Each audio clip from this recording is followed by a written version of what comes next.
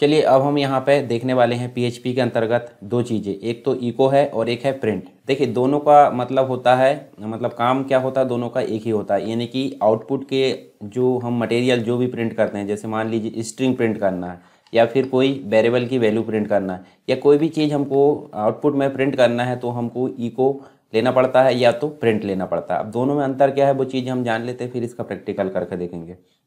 देखिए यहाँ पे हमको ईको और प्रिंट दोनों के अंतर्गत देखें तो सबसे पहले ईको के बारे में बात करते हैं। और जैसे कि हम अगर चलें यहाँ पे प्रैक्टिस में चलते हैं तो देखिए यहाँ कोड मैंने पहले से लिख कर रख चुका हूँ। तो यहाँ पे ईको स्टेटमेंट है जिसके अंतर्गत हमको टेक्स्ट प्रिंट करना तो ये हम जो है कमेंट से इसको बाहर निकाल देते कंट्रोल के साथ स्लैश हमने दबाए तो आप देखिए यहाँ पर ईको लिखे। और यहाँ देखिए आपको ध्यान देना होगा एच लिखे हैं। और एच टू देखिए डबल कोट के अंदर हमने एच टू लिखे। और उसके अंदर P H P is fun इस प्रकार लिखे और एच टू को हमने क्लोज कर दिया डबल कोट क्लोज कर दी।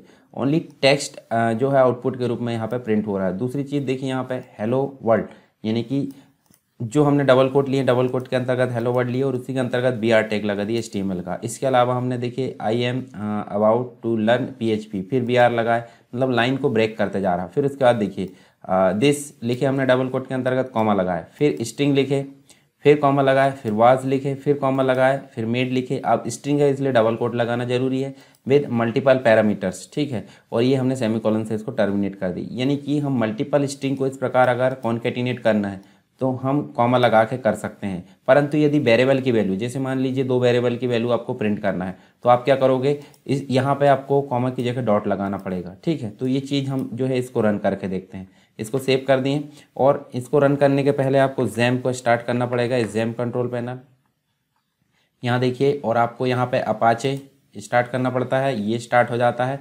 इसके बाद आपको माई को स्टार्ट करना पड़ेगा। ठीक है? जब दोनों चीज़ें स्टार्ट हो जाती है तो इसको आप क्लोज या बंद कर सकते हैं। तो नीचे आपको देखिए यहाँ पर नोटिफिकेशन एरिया में ये दिखने लगेगा। चलिए, हम चलते हैं ब्राउज़र में। जब हम यहाँ पे ब्राउज़र में जाते हैं तो यहाँ पे आप देखिए मैं लोकल होस्ट टाइप करता हूँ। लोकल होस्ट के बाद एक स्लैश लगाते हैं एस एस डब्ल्यू हमारे फोल्डर का नाम, और फिर practice dot P H P इस प्रकार कर सकते हैं। तो आप देखिए P H P is fun उसके बाद hello world I am about to learn P H P this string was made with multiple parameters तो आप यहाँ देखिए, हमने एक, दो, तीन, चार यहाँ पे ई को लिए थे। तो चार ई को यहाँ पे देखिए, एक, दो, तीन, चार यहाँ पे प्रिंट हो गए और हमने ये मल्टीपल स्ट्रिंग को यहाँ पे जोड़कर प्रिंट किए थे, कैसे? कॉमन लगा लगा। तो ये आपको देखिए, सारी चीज़ें यहाँ पे देखने को मिलेगी। पर इसी के अलावा हम देखें यहाँ पे, इसको मैं क्या कर देता हूँ, फिर से कमेंट लाइन कर देते हैं। कंट्रोल के साथ स्लैश हमने दबाए और दूसरा देखिए पीएचपी जो इको स्टेटमेंट है, उसमें जो वेरिएबल है, उसको कैसे डिस्प्ले करते हैं? तो ये जो है कमेंट है कमेंट से हम बाहर निकाल लेते हैं। कंट्रोल के साथ स्लैश दबाए तो इस प्रकार जो है हम कमेंट से इसको बाहर निकाल लिए। और आप देखिए एक वेरिएबल लिए। वेरिएबल किस नाम से लिए? टी एक्स टी वन के नाम से। और वेरिएबल लेने के लिए आपको पता है डॉलर का साइन लगाते हैं। फिर हमने लिए इक्वल करके, उसके अंतर्गत लर्न पी एच पी करके स्टोर कर दिए डबल कोट लगा के सेमी कॉलर लगा। फिर उसके बाद दूसरा वेरिएबल लिए टी एक्स टी टू और इसमें हमने एस एस डब्ल्यू एजुकेशन को स्टोर करा दिए। तीसरा वेरिएबल लिए एक्स जो कि फाइव वैल्यू को रखता है, और वाई लिए, जो कि फोर वैल्यू को रखता है। अब आप यहाँ देखिए ई को हमने जब प्रिंट कराए तो पहली वैल्यू प्रिंट कराए। डॉट टी एक्स टी मतलब ये जो है T X T dollar T X T one print कराए परंतु हेडिंग टू में शो होना चाहिए। तो आपने देखिए यहाँ पर डबल कोट के अंदर एच टू लिख दिए और दोनों को आपस में जोड़ने के लिए हमने क्या लगाया है डॉट यानी कि कॉन्केटिनेशन यहाँ पर देखने को मिला है स्ट्रिंग को जोड़ने का, ठीक? इसके अलावा दूसरा फिर एच टू को क्लोज करना फिर कॉन्केटिनेशन हमने लगाया है। तो ये टेक्स्ट वन यानी कि ये learn P H P print कर देगा। नेक्स्ट जो वेरिएबल है मतलब नेक्स्ट जो टी एक्स टी टू था, वो कैसे प्रिंट हो रहा है? Study P H P at T X T two T X T two क्या है? टी एक्स टी टू में स्टोर है एस एस डब्ल्यू एजुकेशन मतलब study with study P H P at S S W education और line को break कर देगा। फिर उसके बाद थर्ड जो है, दोनों को प्लस करेगा। एक्स और बाय यानी कि डॉलर का साइन लगा के एक्स फिर प्लस डॉलर का साइन लगा के बाय दोनों को प्लस करें तो यहाँ पे वैल्यू हो जाएगी नाइन चलिए, इसको हम रन करके देखते हैं। हम ब्राउज़र में चलते हैं यहाँ पे और यहाँ जाकर इसको रिफ्रेश करते हैं। तो आप देखिए एच टू में लर्न पी एच पी आ गया। Study P H P at S S W education B R लगा कर हमने प्लस किए थे ए एक्स और बाय यानी कि दोनों का जो प्लस है फाइव प्लस फोर नाइन आ गया। ठीक है? तो देखिए, ये जो है, हमने पहली चीज़ देखी ओनली टेक्स्ट को प्रिंट करना और दूसरी चीज़ देखें वेरिएबल को प्रिंट करना। देख लिए? हाँ ठीक है? ये समझ में आ गया होगा आपको। उसके अलावा अब बात करते हैं हम, नीचे चलें। तो देखिए, यहाँ पे जो प्रिंट स्टेटमेंट है, वो देखते हैं टेक्स्ट के साथ में। तो प्रिंट स्टेटमेंट यहाँ पे इसको कमेंट लाइन से मैं बाहर कर देता हूँ और यहाँ देखिए।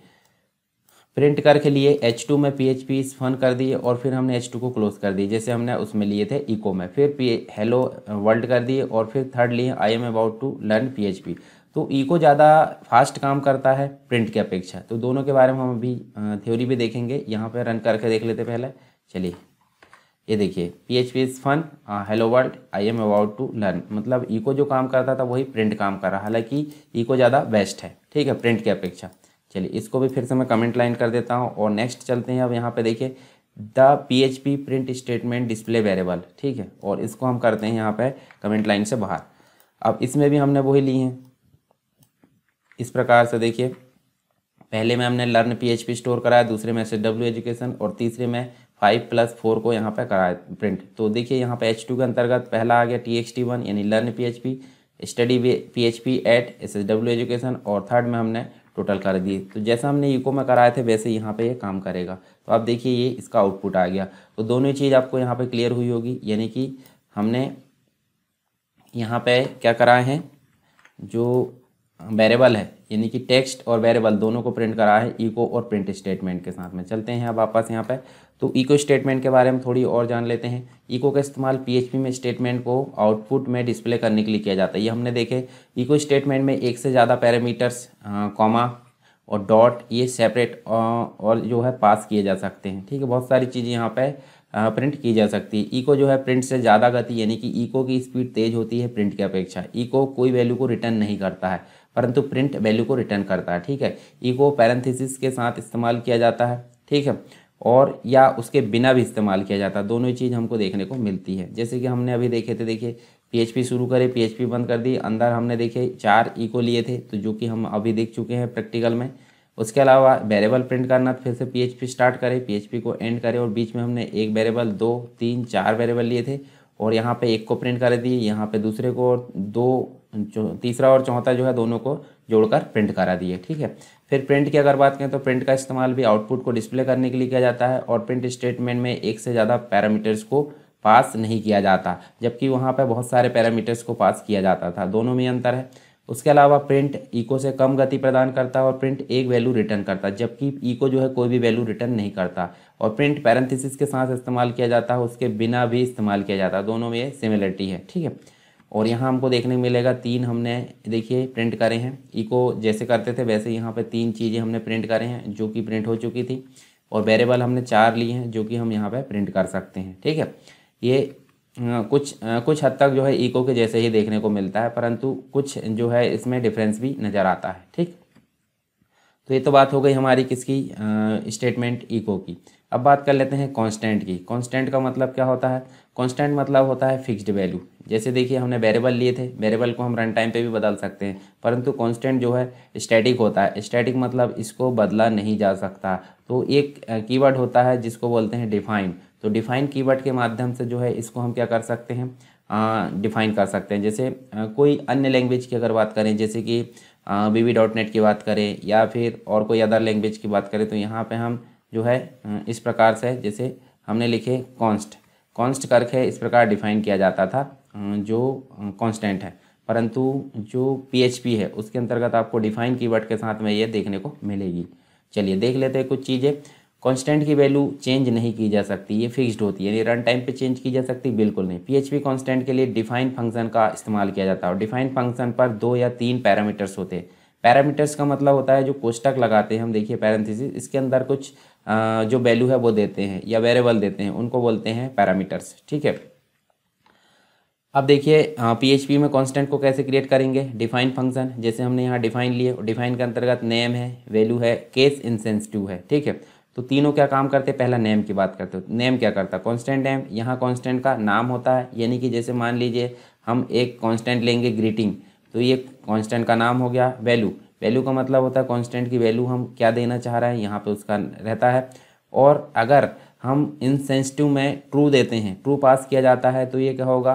केस केस सेंसिटिव जैसे मान लीजिए, यहाँ पे मैं ये ग्रीटिंग डिफाइन करता हूँ और कहीं अदर जाके मैं उसको ऐसे कॉल कर लेता हूँ। ठीक है? इस प्रकार से। ठीक है? ये देखिए, मैंने कैपिटल में कॉल किया हूँ तो यहाँ पर स्मॉल डिफाइन किया गया है अगर कैपिटल में कॉल करते तो नहीं आएगा।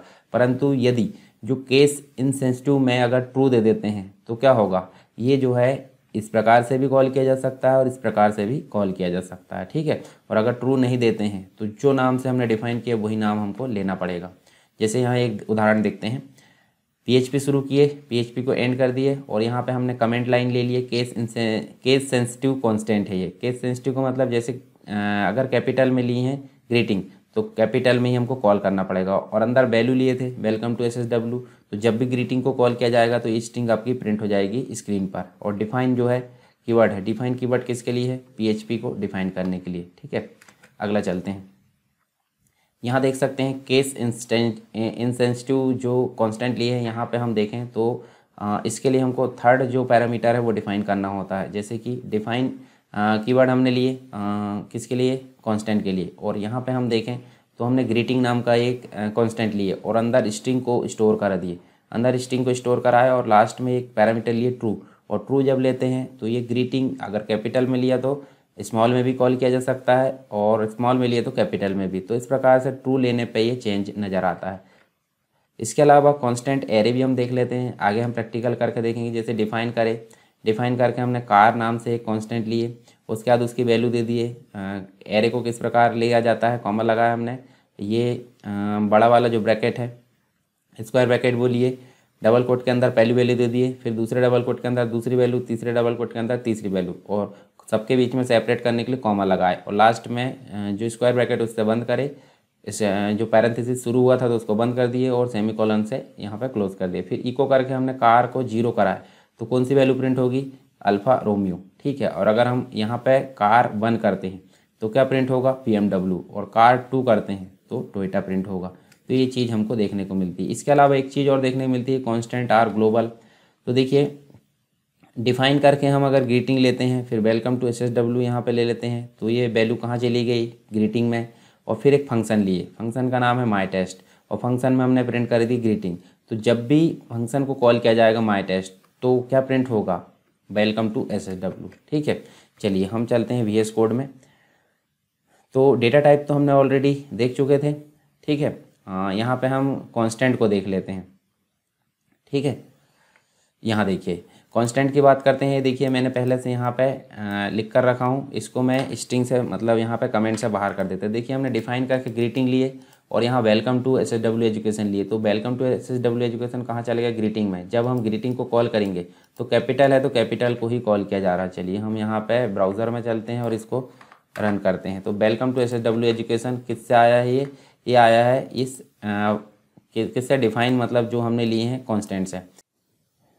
देखिए, यहाँ पे हम जो है P H P constant array को उपयोग करके देखते हैं। जैसे हमने यहाँ डिफाइन लिए डिफाइन के अंतर्गत कार नाम से हमने क्या ले लिए कॉन्स्टेंट और फिर कॉमा लगा कर हमने स्क्वायर ब्रैकेट के अंतर्गत तीन वैल्यू लिए। Alfa Romeo B M W और टोयटा सब में डबल कोट लगाए हैं और सब में सेपरेट लगा, करने के लिए कॉमा लगाए हैं। ठीक है? और उसके बाद हमने सेमी कॉलन से इसको क्लोज कर दिया। कॉल करने पे हमने ज़ीरो करे हैं। ठीक है? तो हम इसको रन करके देखते हैं।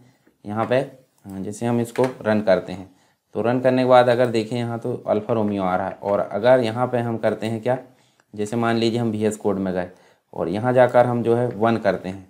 ठीक है कार वन और यहाँ जाकर रिफ्रेश करते हैं तो बीएमडब्ल्यू आएगा। और अगर कार यहाँ पे टू करते हैं तो क्या आएगा?